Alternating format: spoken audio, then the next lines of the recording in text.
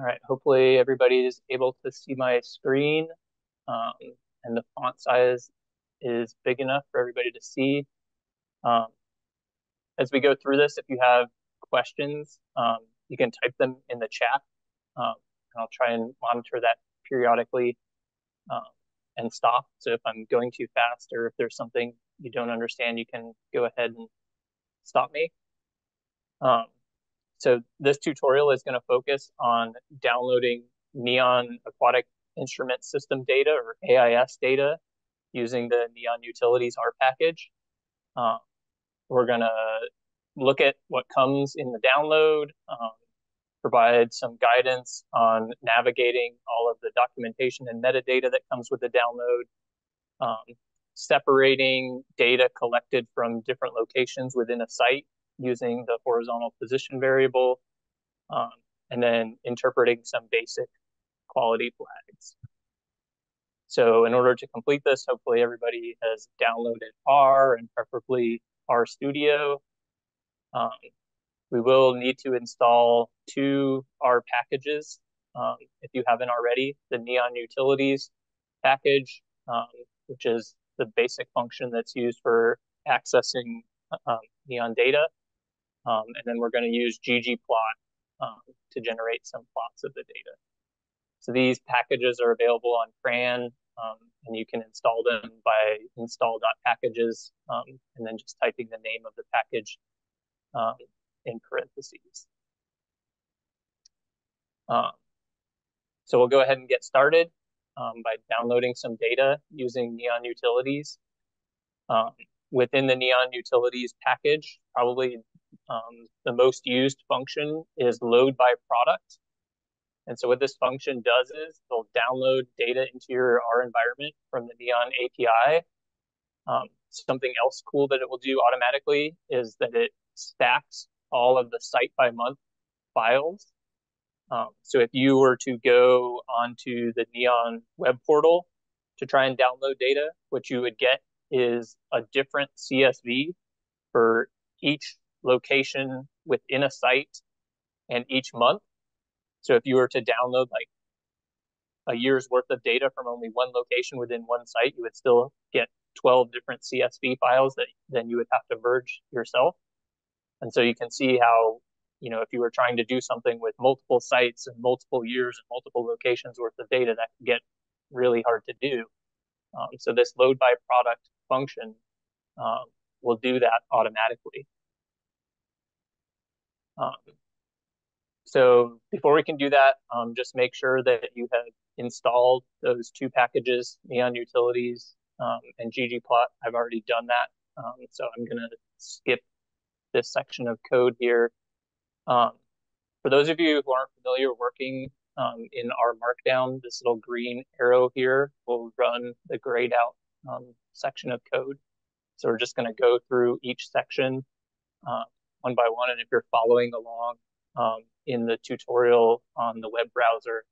Um, these will be the blacked out boxes. Um, so let's go ahead and we're going to load the two packages that we're going to use, Neon Utilities and ggplot from our library, uh, since we've already installed them.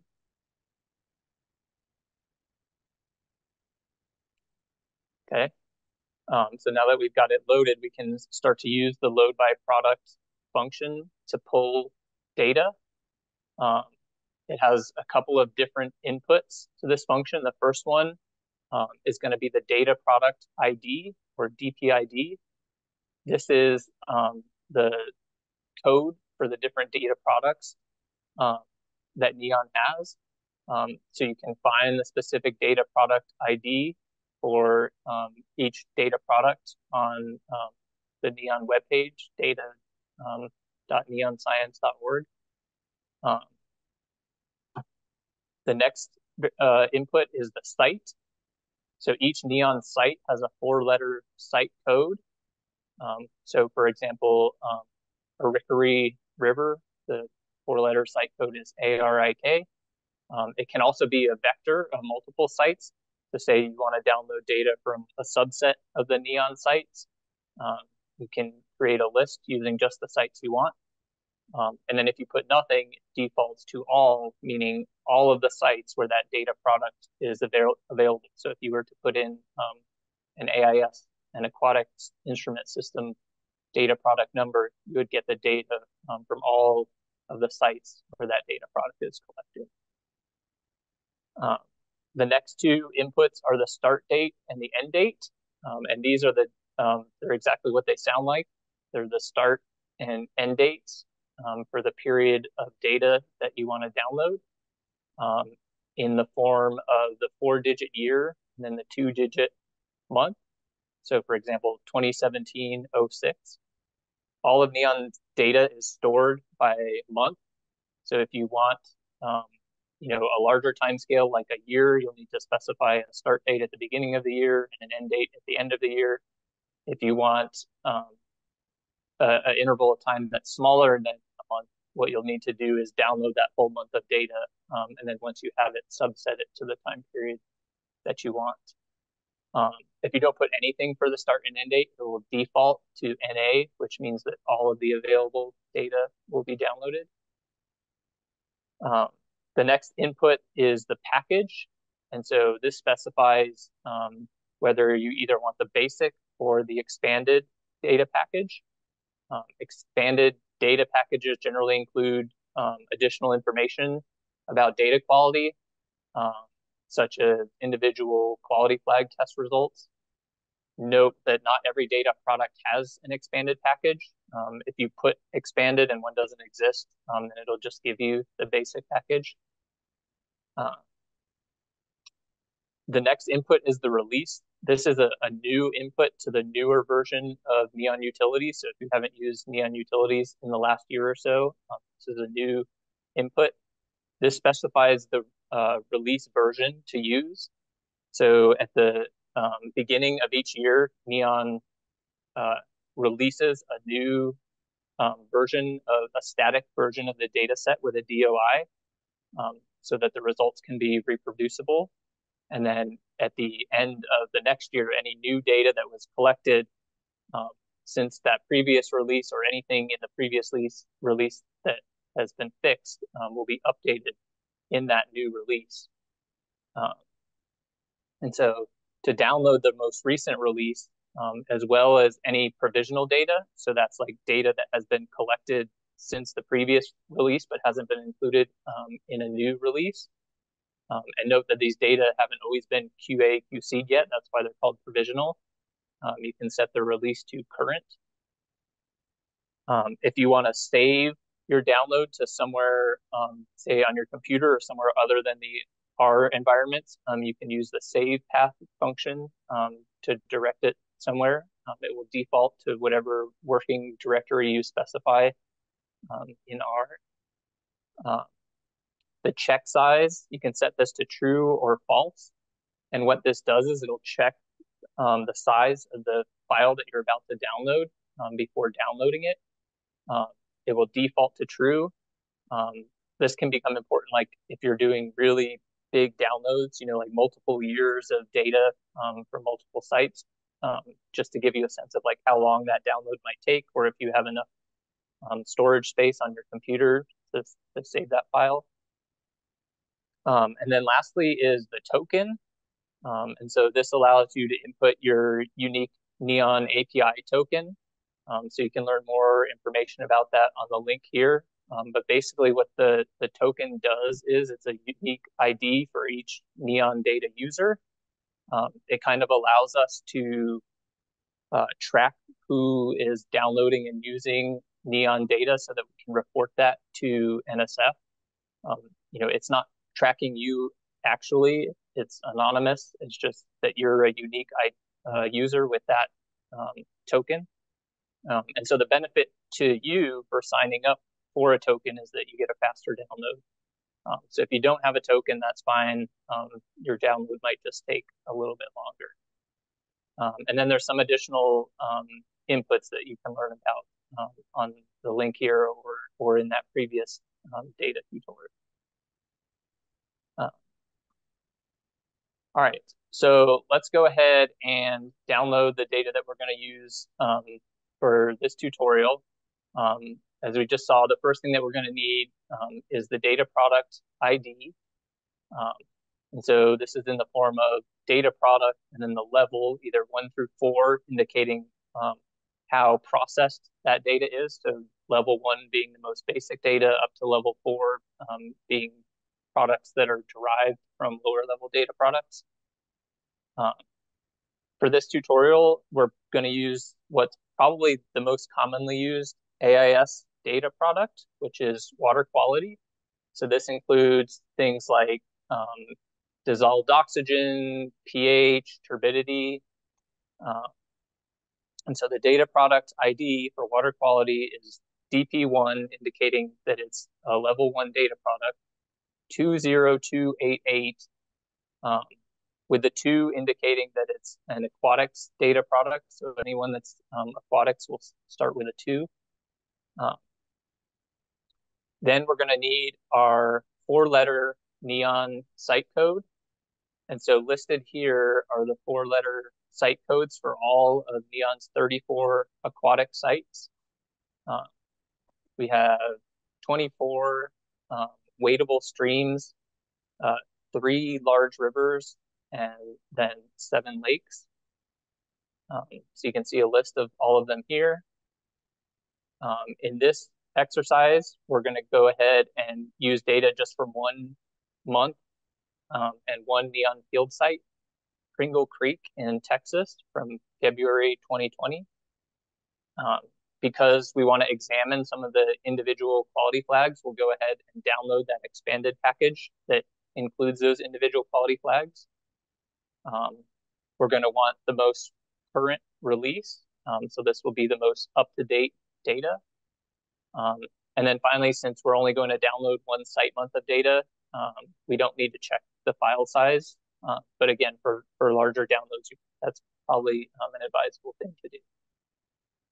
Um, so we're going to use the load by products function. We've set our data product ID to uh, the data product ID for water quality, dp1.20288.001. We've set our site to the four letter code for Pringle Creek. We've put in our start date and end date of 2020-02 because we just want that one month of data. We've specified the expanded package, the current release, um, and we've told it to, to not worry about checking the file size. So we'll go ahead and run this. What you'll see is it's finding all of the available files, it's downloading them, it's unzipping them, um, and then what you would see is, oh, I guess you still see even though it's one month, here's where it's stacking.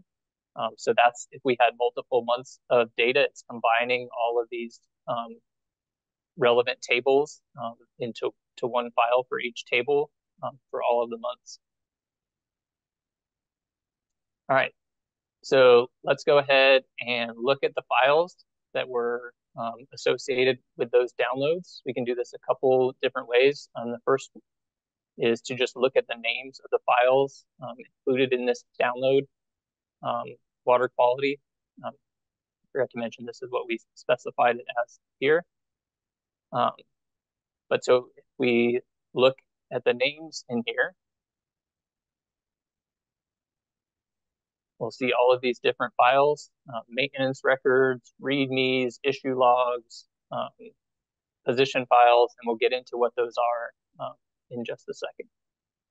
Um, another way to do this is we can take this list um, then load it into our global environment. And what we'll see over here in our environment is that now all of these files um, are showing up. All right, so what exactly are these files and uh, why would you want to use them? Um, so the first one, the most important one, is the data file. Um, there will always be one or more data files if there is that data product available for that site and month. Um, and this includes all of the, the primary data for the data product that you download. Um, sometimes you will get multiple data frames uh, if there are related data products.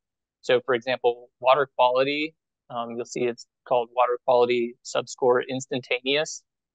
Uh, that's because it's measured and reported um, as instantaneous values collected either every one minute in this wadeable stream sites or every five minutes uh, in the lake sites, but it's not averaged. A lot of our other data products are averaged. So for example, five minute averages or 15 minute averages or 30 minute averages. And some data products will include multiple data files. So for example, uh, five minute averages and 30 minute averages.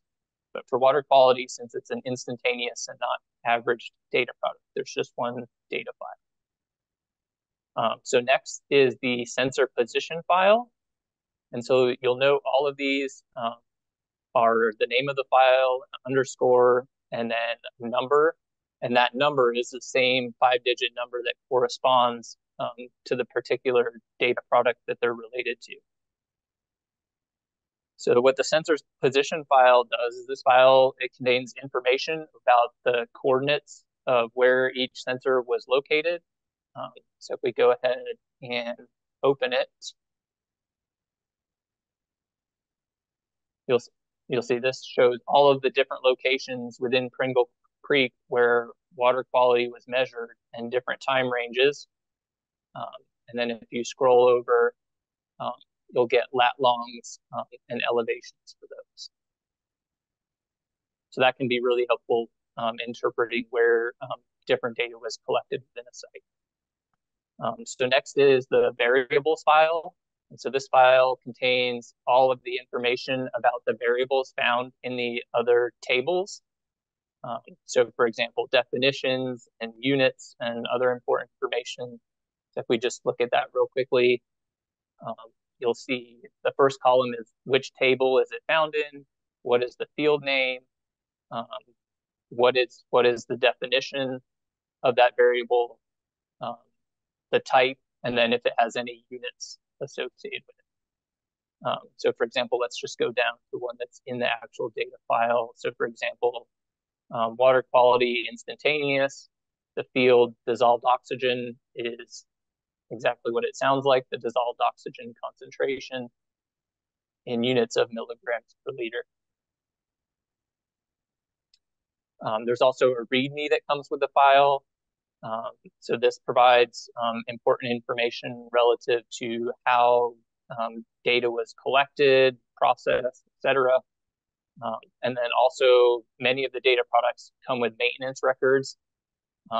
Um, so for example, this one, um, maintenance here, um, and then also cleaning and calibrations. Um, and so it'll give you um, dates for when sensors were cleaned or calibrated, and then pre and post cleaning or calibration values so that if there's an offset um, in the data, you can correct that. Um, that's one important thing to keep in mind is that most NEON level one data products are not um, post-corrected for things like drift and calibration offsets. Um, we provide that information um, in these maintenance files um, so that you're able to do those corrections yourself. Uh-huh. okay, uh, we kind of already did this, but let's go ahead and we'll run this here. Um, and so those files that you just looked at, the variables file, sensor position file, uh, and the data um, file show up here. Um, one thing that's important to do is we want to check um, the versioning of the data that we downloaded. What release did it come from? Remember, we specified it to current so that it would give us um, the most recent one. But then when we cite that, if we were to use this data in a publication and then um, cite it, we want to know which release it came from because each release has its own um, unique DOI. So let's look within um, water quality instantaneous, the, the data file, um, what values for the release are present. Okay, so all of the data that we just downloaded came from release 2023. That's the most recent um, current release until I, I, believe next week, release 2024 is going to come out. Um, and then here's a here's a helpful link if you want to learn more about um, our data versioning and then how to appropriately reuse and cite um, Neon data. You can go to that link. All right. So now we're going to look at data that was collected from different sensor locations within a site. Um, within most of our sites, um, we collect the same type of data from sensors that are located in a couple different um, locations. And all of this data gets delivered together when you use um, the Neon utilities load by product function. Um, if you were to just go on the web portal and and start downloading CSVs, um, then you would get those locations um, separately. Uh, you know, but a lot of times you're going to want to analyze data together. Um, and so if you use the load by products function, you're going to get those all of those locations combined into one um, single data file. So within the data file, um, one of the ways that we indicate where within the site the data was collected from is the horizontal position variable. So let's go ahead and just look real quickly in our water quality instantaneous. Um, you'll see right here, it's the third column, horizontal position, um, and it has a numeric code within it. And so for aquatic sites, um, that code, the HOR code or horizontal position code, um, it's always going to be a three digit number. Uh, for our aquatic sites as of 2024, um, what the possible codes are uh, are listed here. Um, so generally ones that end in a one are collected from an upstream location um, within a stream site. Ones that end in two are collected from a downstream location in a stream site. The earlier numbers indicate like the type of infrastructure that it's mounted on, um, whether it's like a monopod strut that's driven into the stream bed and mounted to that, versus like an overhead cable system where it's hanging down um, from above. Um, for any lake and river sites where data is collected um, from a buoy, it's going to end in three, so 103. Um, and then lastly, for our lake sites, we have a few sensors that are mount are uh, mounted around um, the outside of the lake, lake, like in the littoral zone. Um, and so those have HOR codes of 130 through 190. Um, note that within Neon, data is also collected at different vertical positions. Um, this is true in aquatics only at the lake and river sites. Um, so where data is collected like from a buoy that's in the deepest part of the lake, we have sensors that are suspended at different depths um, to collect data so that we can create like vertical profiles of things like water temperature and water chemistry so that we can look at stratification. Um, but this tutorial, we're just using a wadeable stream site um, where data is only measured um, at a single vertical position. Um, so we don't really have to worry about that. Um, but so you'll frequently want to know which sensor locations are represented in uh, the data file that you've just downloaded. And so we can do this um, by using the unique function um, to look at what unique horizontal positions are present. So we're going to say, what are the unique um, values present in our data table, water quality instantaneous, in the column horizontal position? And so we run it. And so what we see is um, at Pringle Creek in February of 2020, which is the data that we just downloaded, um, there's only two positions present, 101 and 102. So this corresponds to upstream and downstream sensors. Um, one thing to be careful about is that the location, even if it has the same code, the actual physical location can change over time if the site is redesigned. So that's why you'll want to go back to this sensor position file and find um, your HOR code here, um, 101, and see for different date ranges did the physical location change? And you'll see, like for Pringle Creek, this is a creek that um, has a lot of aggradation and deposition of sediment. And so as the channel meanders, the actual physical location where the downstream sensor was had to move a little bit. So you'll see like the latitude was pretty much the same, but the longitude changed a little bit and the elevation changed a little bit um, as those sensors were being moved around through time so that they stayed in the thalweg of the stream. All right, so now that we know what horizontal positions are present in the data that we just downloaded, um, we can split them up into different data frames. So then we'll have uh, one data frame for all of our upstream data and one data frame for all of our downstream data. So we'll go ahead and do that. We'll, keep, we'll create this data frame, water quality up, and this is subsetting water quality instantaneous for the horizontal positions that equal 101, so the upstream location. And then we'll create a, a second um, data frame, water quality down, um, which is the data from water quality instantaneous that has a horizontal position of 102, so the downstream location. So we'll run this. And they should pop up over here in our environment now. So within water quality instantaneous, there was a total of 8,000 or 83,520 observations. And now we've split them exactly in half were collected at the downstream location and half of them were collected at the upstream location. All right, so now we can go ahead and plot some of this data and just see what it looks like. Um, let's plot uh, dissolved oxygen data from the, the downstream sensor. Um, something else that's really cool that Neon does with our data that other agencies like maybe USGS um, doesn't do is that we also include uncertainty estimates for most of our measurements um, that are derived from our calibration and validation lab. Um, so each individual sensor probe um, that we have, they test it and figure out what's the uncertainty of this probe. And that gets published with the data here. Um, so if you were to go to water quality instantaneous uh, and go over to some of the data um, right here for dissolved oxygen, it also has this column um, that includes uncertainty. So we'll go ahead and we'll plot that uncertainty along with the data. Um, so the first thing that we need to do is we need to identify all of the columns um, that are going to be important um, for plotting, um, the time stamp that we want to use, and then the dissolved oxygen data.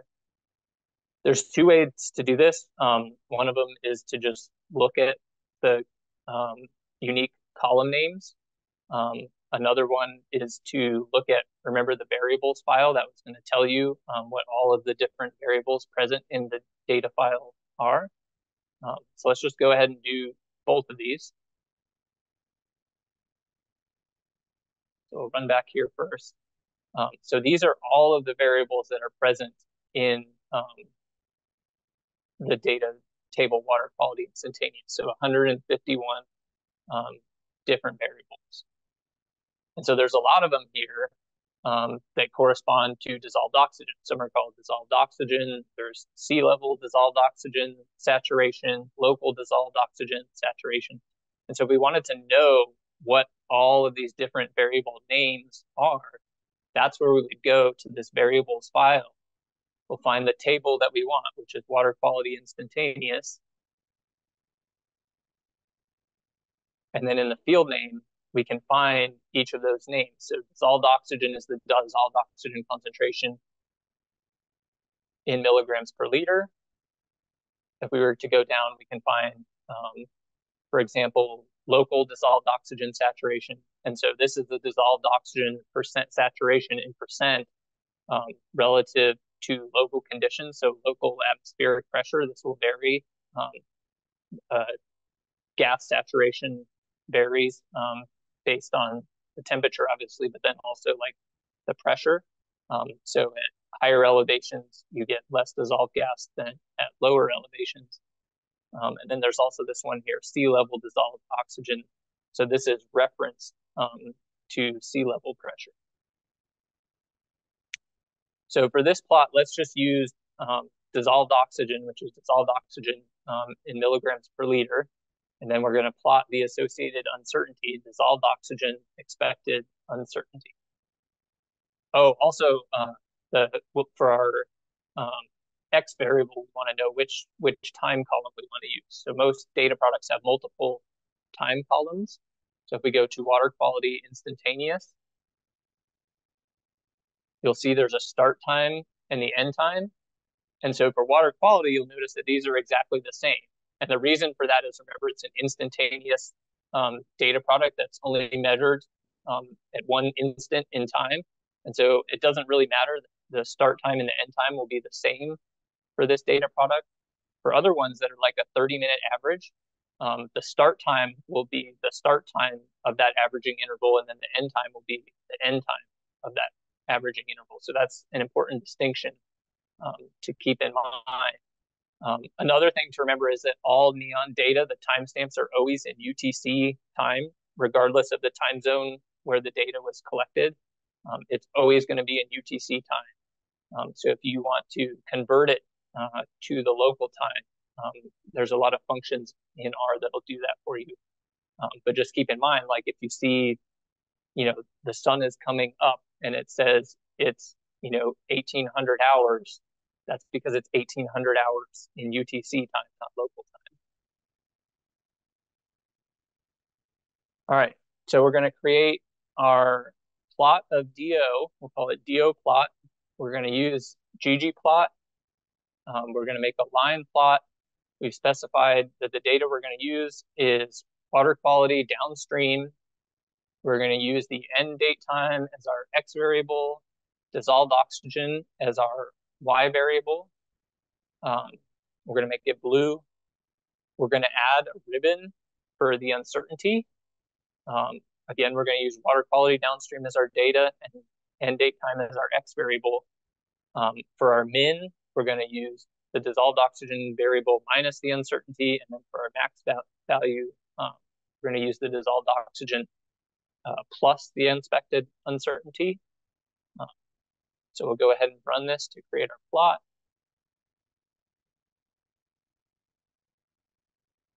All right, so now we've got a pretty cool plot here of our downstream DO data from Pringle Creek from February 2020 with uncertainty bounds added. Um, you know, and it looks pretty normal for a dissolved oxygen plot. Dissolved oxygen goes up during the day because of photosynthesis, and then it goes down during the night because of respiration. Um, here it's dampened probably because, you know, something happened. These were, um, this was a not sunny day, or maybe there was like a high flow event that increased the turbidity or something. Um, but if we look right here, we see some kind of weird data going on here. Like there's some spikes and dips and things and kind of what's going on there. So that's what we're going to do next is we're going to look at the quality flags of the data to try and figure out what's going on um, with these spikes here. So Neon's data quality flags fall under two distinct types. Most of them are automated quality flags. Um, so these are things that get done automatically based on algorithms for the range, um, spikes or steps where the, the change from one timestamp to the next um, is quite large, um, nulls for missing data. and then some data products have um, data product specific automated flags. Um, there aren't any for water quality though. Um, and then the second type are manual science review quality flags. Um, so this is where somebody, probably me at Neon, has looked at this data and reviewed it and said, hey, you know, there's there's something odd going here, something odd going on here. Um, and so I'm going to add a manual quality flag to it to alert users, um, you know, that they might want to take a closer look at it before they use it. Um, so for instantaneous data, such as water quality flag, the flag columns are all denoted with QF for quality flag. Um, in time average data, um, those quality flags then get ag aggregated into quality metrics, um, which is just a percentage of the data within that um, average that got a quality flag. Um, and those are denoted with a QM. Um, so here, let's go ahead and look at the different quality flag names within water quality.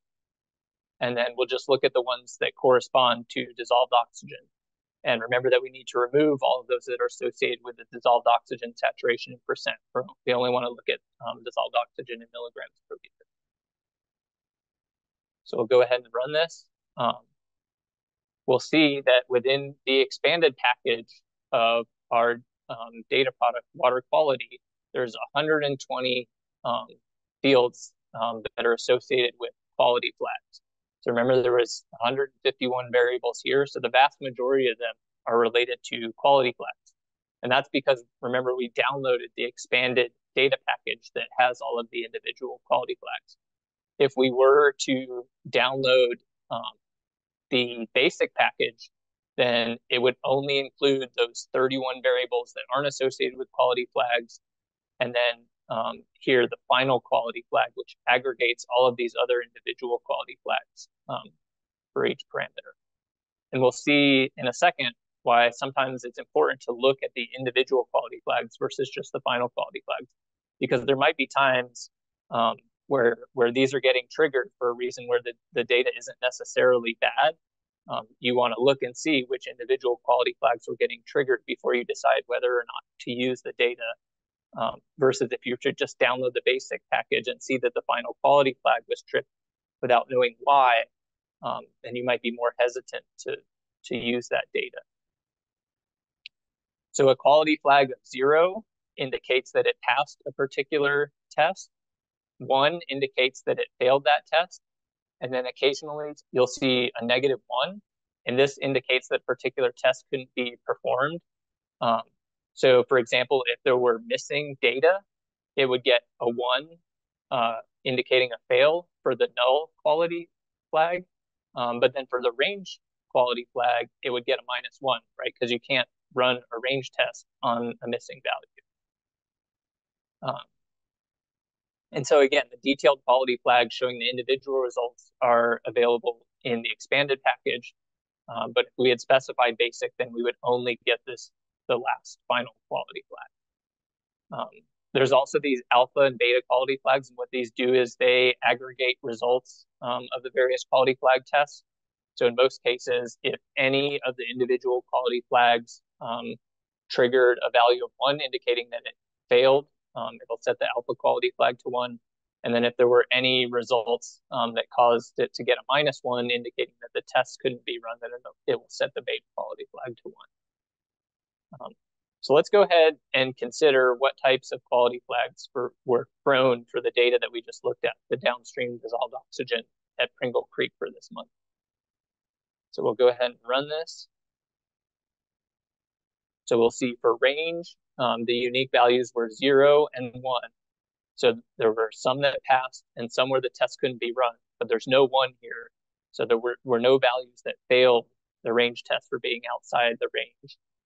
Um, for the step flag, okay, there were a couple that failed the step flag. Um, we'll look for the null flag. Um, again, there were some that passed and some that failed.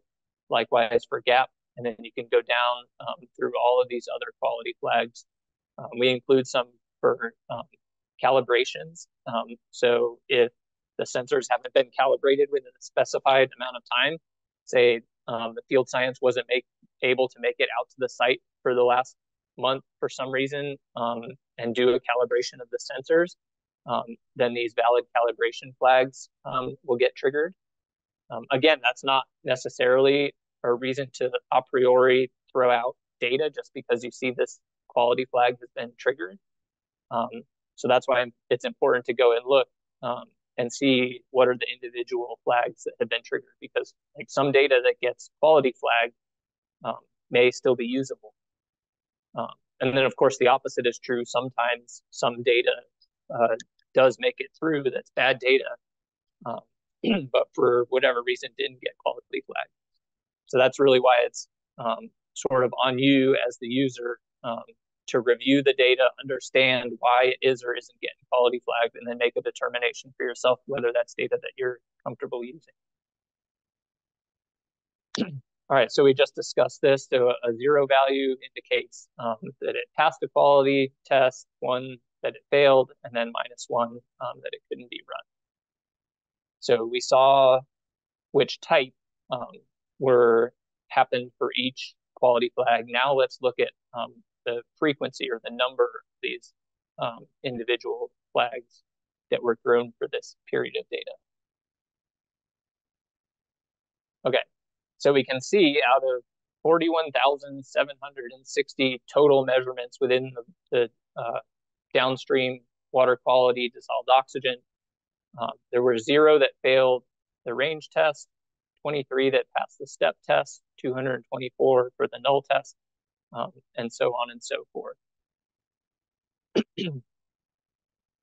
so for all of these different quality flags, um, the algorithm that's used to create them and then the threshold that's used to trigger them are uh, available in what we call our ATBDs, algorithm theoretical basis documents. And so these are available for download. If you go to the Neon Data Portal webpage for each specific data product, you can download um, these ATBDs to get a better understanding um, of how the quality flags um, are generated. Um, so we can look here, are there any manual science review quality flags? That means that somebody looked at the data and saw something um, that was wrong. Um, so we look up here,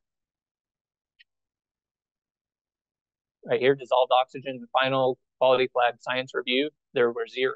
Um, so nobody uh, looked at this data and saw anything that was obviously wrong. Um, you know, this is the one that I, when I use Neon data that I focus on the most. Um, if the science review quality flag has been set to one, it probably means um, that there was something seriously wrong with the data, not that a, a person was able to visually recognize it. Um, but again, just because you see it set to zero doesn't always mean that there isn't something wrong. It's just, uh, you know, we collect hundreds of data products um, from 90 something sites. Um, and within each data product, um, there are dozens and dozens of variables. Um, so it's a it's pretty much impossible for a person to visually review all of the data that we're collecting.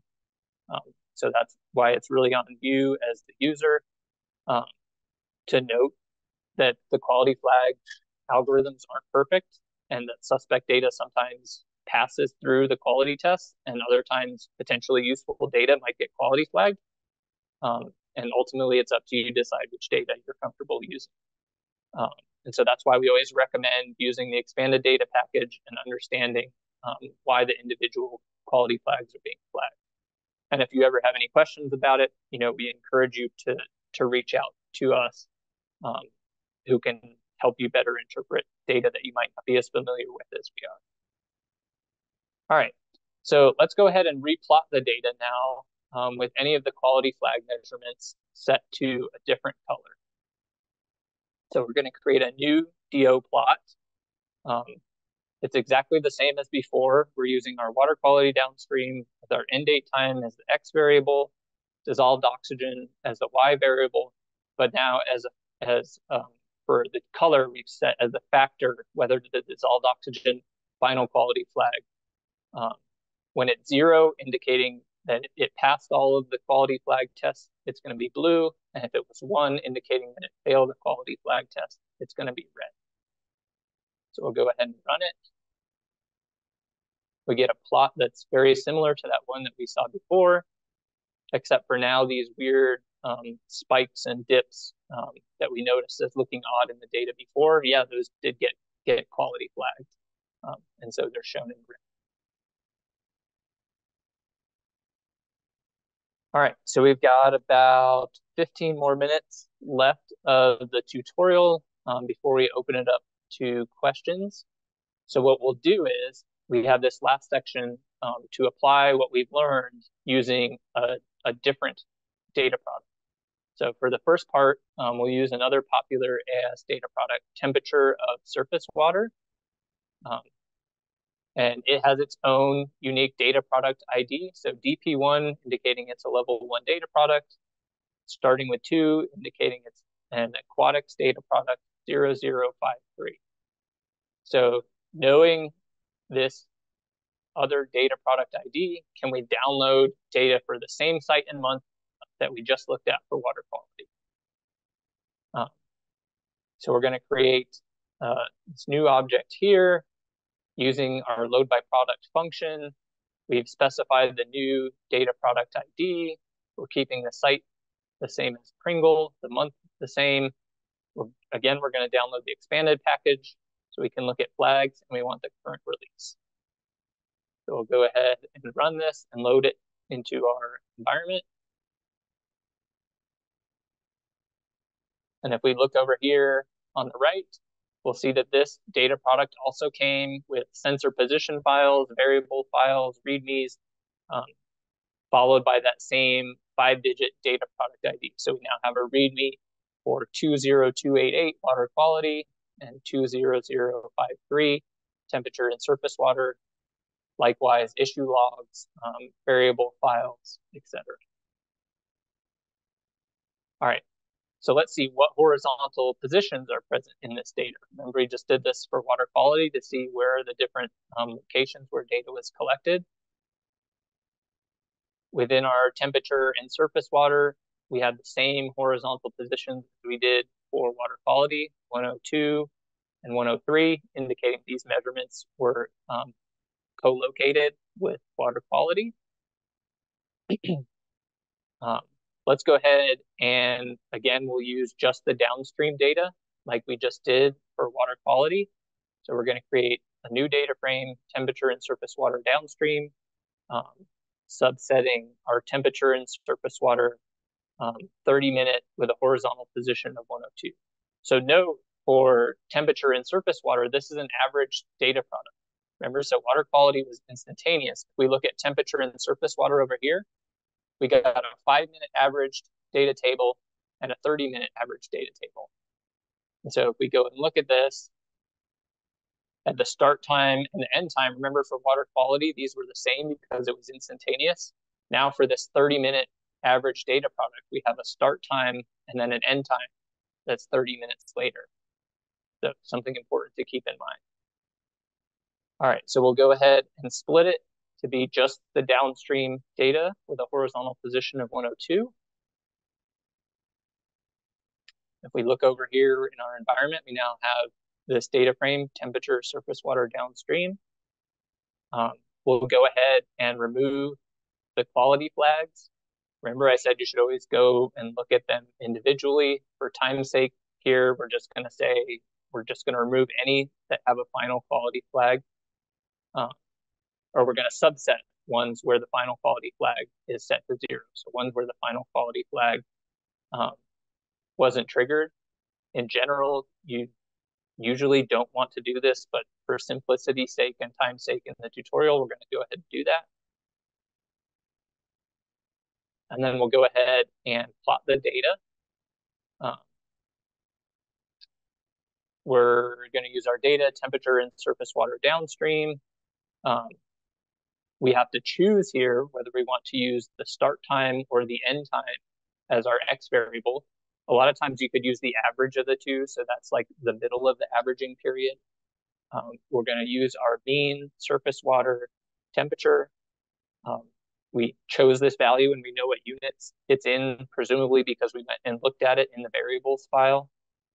Um, and then we can also add uncertainty just like we did um, for dissolved oxygen. So we're going to set our min equal to the value minus the uncertainty, and then our max equal to the mean plus the uncertainty. We'll go ahead and run it. We get this nice plot here, similar to what we had before for dissolved oxygen, um, but now it's for temperature.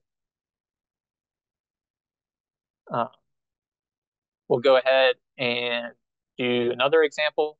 Um, for this one, let's look at our continuous discharge. Um, so this is a higher level data product. You'll note that the number is DP4, indicating that it's a level four data product. And what that means is it's derived from lower level data products. So in the example of continuous discharge, it's derived from our level one surface water elevation data, and then also our level one AOS or aquatic observational system data, uh, the field measured discharge. So periodically they go out and make handheld measurements of discharge. And from that and the, the level one water surface elevation, we can make a rating curve that predicts what is the discharge for any particular water surface elevation. And that's this higher level um, data product level four. Um, so we'll go ahead and we'll download that data for the same site and month that we just looked at. Um, so we changed our data product ID to discharge. We've kept everything the same. Uh, Pringle, date, package, release, all the same. We'll go ahead and run it.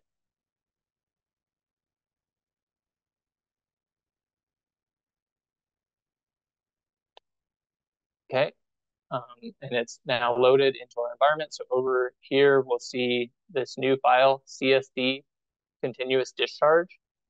Um, something to note, discharge is only measured at a single location, so we don't have to worry about the horizontal position. If you go in here, um, discharge is always measured at a horizontal position or horizontal ID of 110. Um, there will never be a different number here. Um, so you don't have to worry about separating the data um, by location. And the reason for that is like our reaches are specifically chosen so that flow coming in approximately equals flow going out. Um, there can be some small groundwater interactions, um, you know, but we don't have large tributaries coming in. So discharge at any one location in the stream more or less is going to be equal to discharge at any other location. Um, the, the reaches were specifically chosen for that. So let's go ahead and for our continuous discharge, remove any of the values that have um, a final quality flag, or, or rather we're gonna choose the ones where the final quality flag wasn't triggered. And then we'll go ahead and plot this. Um, so we're gonna use our CSD continuous discharge. We're gonna use the end date um, as our X variable. And then this term max post discharge here as our Y variable. Again, if you want to know exactly what that is, um, you can go look in the variables file that comes with continuous discharge. Um, but basically, it's the um, maximum posterior likelihood of this Bayesian model that we use um, to calculate discharge. It's essentially the mode um, the most common value. Um, we also, for continuous discharge, do provide means and medians if you prefer to do that. Um, but generally, we recommend using the maximum posterior because that's what the developers of the particular model that we use recommend. Um, and then uh, we'll go ahead and also add our uncertainties here. Um, so for discharge is a little bit different the uncertainties are the upper and lower values. It's not just an uncertain uh, standard uncertainty that you would add and subtract from the actual value. Um, so when you want to use that data, that's a distinction that can be important. Um, so we'll go ahead and run this here. And here's our continuous discharge with uncertainties. And so you see there's a, a higher flow event here um, and that's probably, remember when we looked at the dissolved oxygen data, um, where that clear diel signal disappeared was probably right after this flow event because it increased um, the turbidity and attenuated the light um, that was reaching the benthic surface and, and stimulating primary production. All right, um, so we've finished our tutorial and now, oh, right on time with three minutes to spare. And now um, we can open up the floor for anybody that has any questions.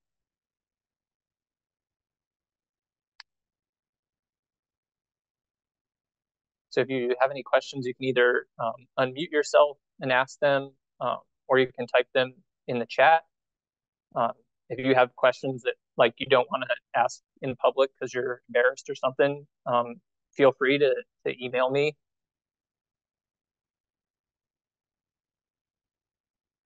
Hi, I have a question.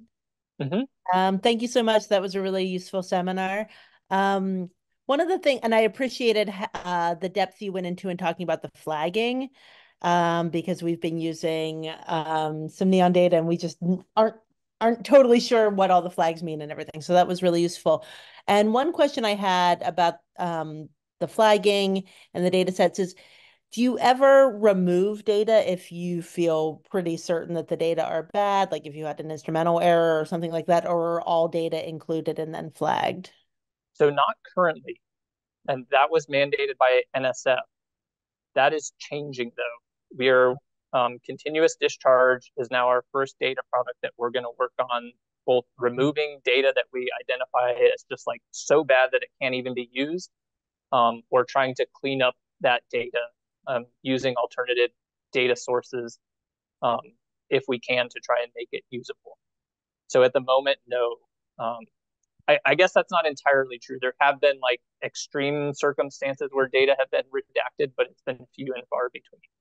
Um, for the most part, what NSF has directed us to do um, is to manually flag data that's bad, um, but it still gets published, which I mean, as you just alluded to, is not a perfect solution and can lead to people misinterpreting how to use that data or whether to use that data.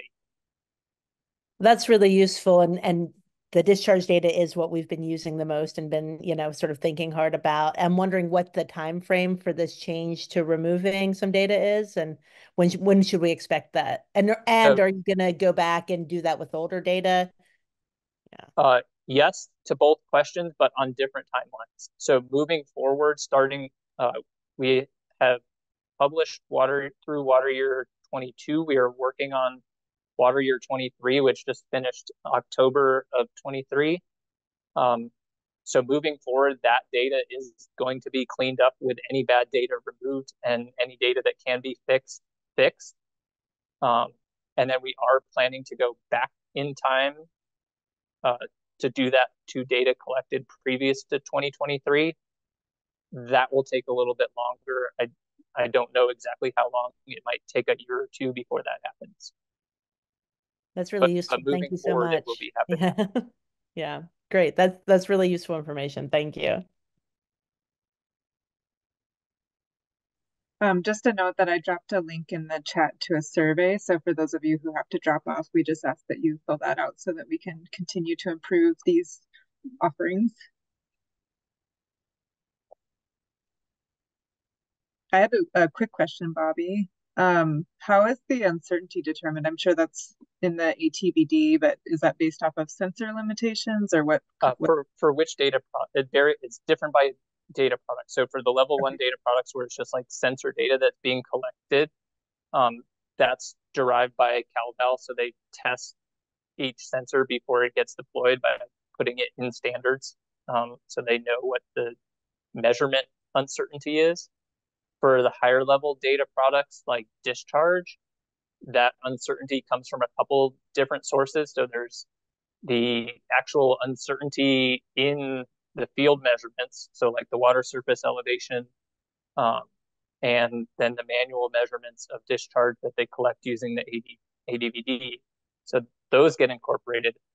But then the Bayesian model also has its own two sources of uncertainty. So it gets priors that are based off the, the channel geomorphology. So they go out there um, with like a theodolite um, and a level rod and they measure the shape of the channel, which obviously like that and the slope of the channel controls how much water can flow through it. Um, so those serve as priors to the model. Those have uncertainties based on the measurement accuracy of the survey and then how we interpret like where the channel breaks are, like so where it goes over bank.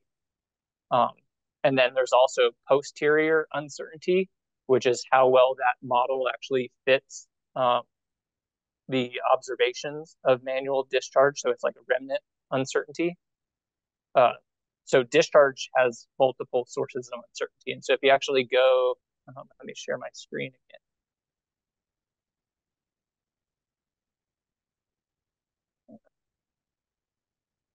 Are you able to see my R console again? So if you go into um, the continuous discharge uh, data frame, it'll include both. So there's some with the just the parametric uncertainty. So that's like the uncertainty in the priors, and then remnant uncertainty, which combines both the um, prior and posterior uncertainty. Okay. And that's what was plotted in the lesson the yeah so that's like the that's like combined yeah um, so i think that's what i plotted. I can't remember but it should have been. Yeah yeah so i plotted. Thanks.